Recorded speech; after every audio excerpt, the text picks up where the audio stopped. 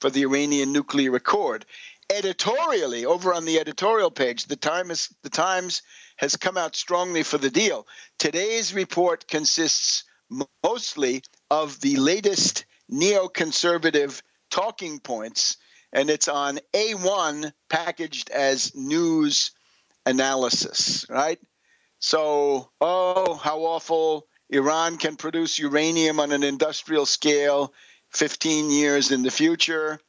Uh, various Democrats who say it's good, it's bad, but generally uh, bad. In 15 years, Iran will have a highly modern and internationally legitimized enrichment capability that is a bitter pill to swallow, says uh, Congressman Adam Schiff of California. You get the idea. Dennis Ross, oh my God, Winnip, Zoellick, Kimmitt, and Ross, right again from the Bush uh, 41 State Department. Uh, Dennis Ross, uh, during the late Clinton administration, earned a reputation as Israel's lawyer. He participates with Sanger and Gordon, regurgitating claims that vulnerabilities must be addressed. The gap between the threshold and the weapon status after 15 is small. That's 15 years in the future. Won't you think of something to uh, to, to rectify some of these things if you're so concerned? Anyway, fortunately for the rest of us, the train has left the station. The British Embassy is open. It's alive and well and open for business in Tehran. The Germans, with Sigmar Gabriel, Vice Chancellor of Germany, have been there. They're getting huge contracts. The Japanese are there.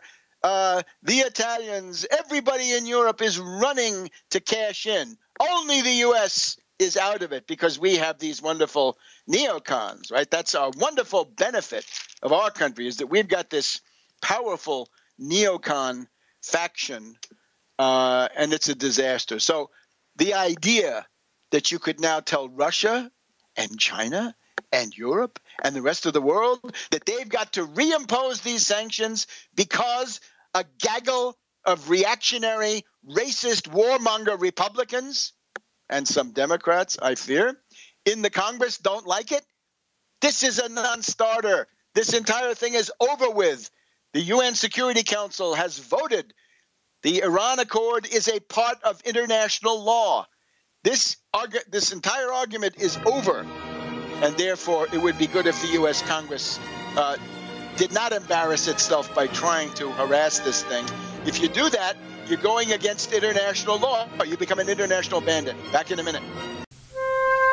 Welcome back to World Crisis Radio. Webster Tarpley here in Washington. The uh, our last program of August uh, and we're now in the last segment. So let's just look at some other themes. Now, we had this whiff of panic in the international finance markets this past week. Uh, we also saw some pretty heavy duty activity by the famous PPT, the Plunge Protection Team, the President's Working Group on Financial Markets, using presumably either Treasury money or more likely Federal Reserve money. But in any case, U.S. public money used to prop up these stock prices, right? The Japanese have the openly acknowledged stock buying authority. The US has something similar, but it's uh, more surreptitious. Now, China, as I pointed out in my polemics with the unfortunate Pepe Escobar in the last couple of weeks, uh, the Chinese leadership can be just as stupid and just as short sighted as anybody else. And uh, indeed, some of these bureaucrats like to, uh, you know, change course rather promptly. And unfortunately, this gets them into uh, big trouble. The principal problem, once again, is that this government is illegitimate. Nobody chose them, nobody voted for them in any recognizable sense.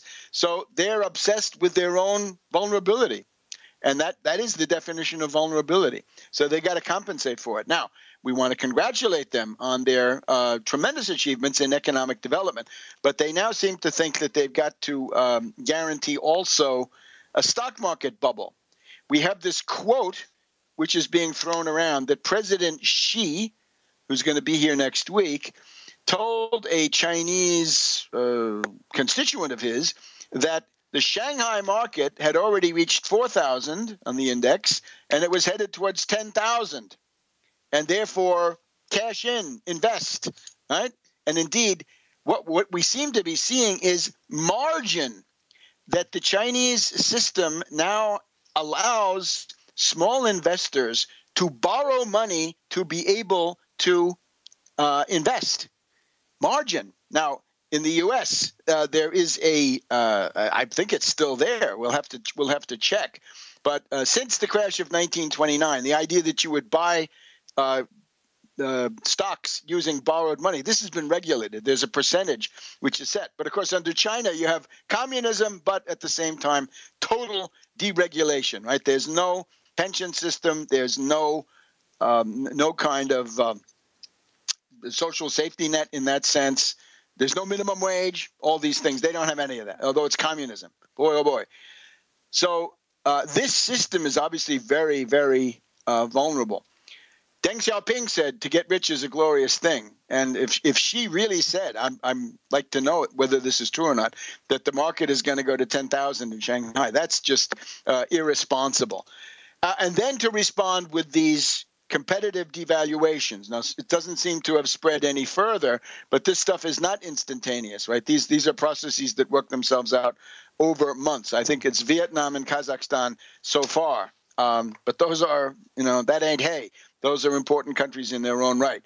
Now, in terms of the U.S. side of it, we stand here for the Lautenbach Woytinsky approach, which is that you've got to mobilize the credit creating power of your central bank, make it act like a national bank, at least in part, and use that for infrastructure above all, infrastructure modernization as much as you can spend is the right way to do it. We would also add, given the special problem of the U.S., the 1.2 or 1.3 trillion dollars of high interest student loans. Those have got to be refinanced down to zero. That's the very least we can do for the new generation.